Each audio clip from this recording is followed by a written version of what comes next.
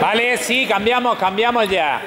Eh, pero ahora el juego que vamos a hacer es que eh, tú, ¿cómo te llamas? Ven para acá. Antonio. ¿Antonio? Bien.